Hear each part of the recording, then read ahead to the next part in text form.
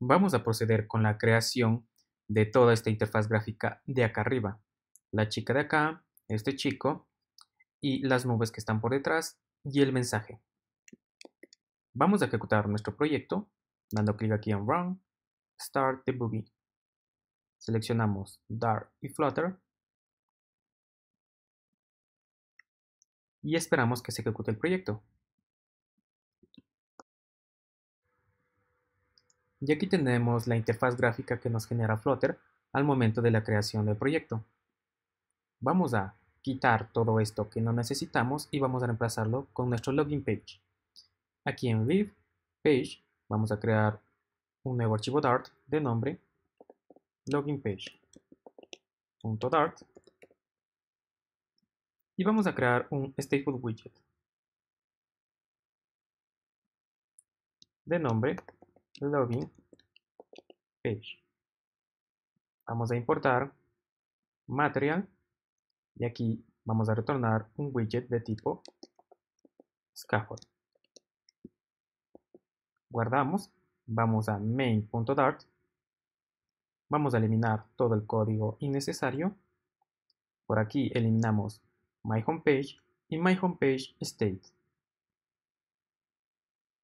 Y por acá vamos a reemplazar en material app en el parámetro home con login page. Bien, y aquí se acaba de importar de page login page.dart. Guardamos. Bien. Ahora vamos a esconder el banner de debug.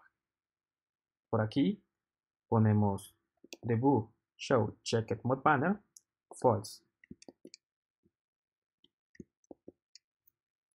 Bien, ahora yo quiero que los iconos de mi status bar sean de un color oscuro. Y para esto necesito acá en mi login page.dart sobreescribir lo que sería el método initState. Bien. Y por aquí vamos a primero importar lo que sería services de Flutter. Flutter slash services.dart y después de super.initState vamos a utilizar system crom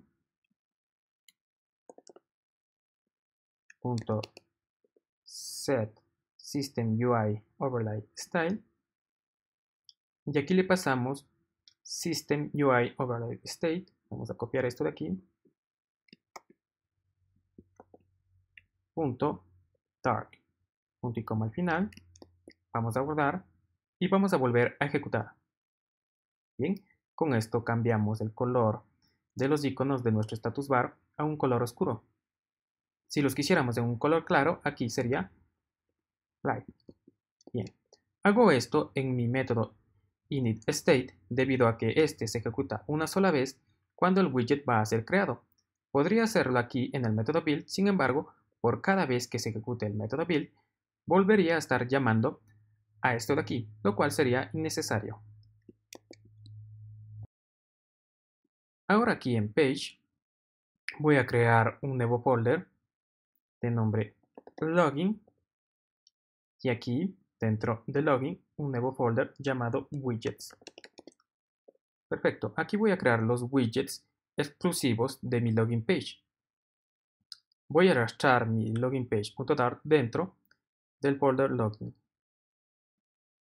Bien, ahora aquí en main.dart, aquí sería page slash login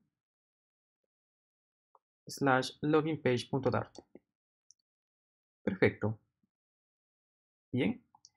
Aquí en login page.dart, en el scaffold, vamos a definir body, por aquí un container.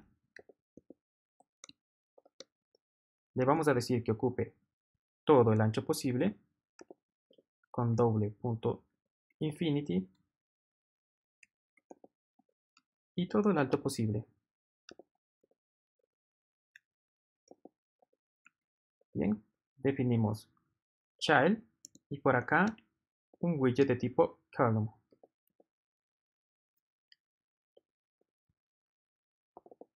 children.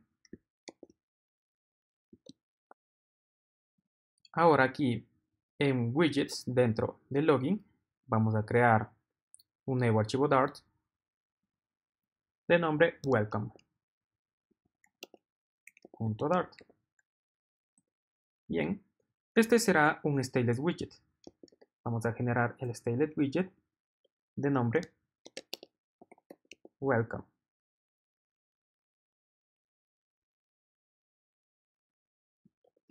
Importamos material. Bien, y aquí vamos a retornar un container. Vamos a darle por acá un color de fondo. Colors.red. Vamos a darle una altura de 200 temporalmente.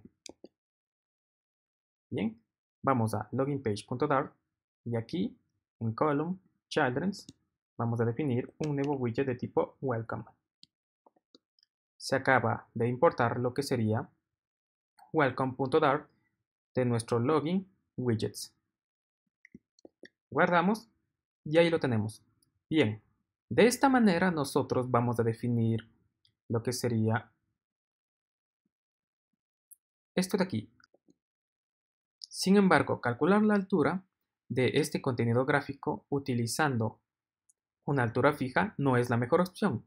Para esto nosotros vamos a utilizar el widget Aspect Radio, el cual nos va a garantizar que nuestro widget o esta interfaz gráfica de aquí se verá correctamente en cualquier dispositivo. En nuestro archivo welcome.dart, que está dentro de Page, Login, Widgets, nosotros vamos a envolver este container dentro de un widget de tipo Aspect Radio. Si posicionamos el cursor aquí, luego clic en este foquito de acá, tenemos la opción de envolver el widget dentro de un nuevo widget. Y aquí le damos el nombre de Aspect Radio. Bien. Y debemos definir el parámetro Aspect Radio. Yo le voy a dar una relación de 16 a 9. Bien, ya sabemos cómo funciona el widget de tipo Aspect Radio.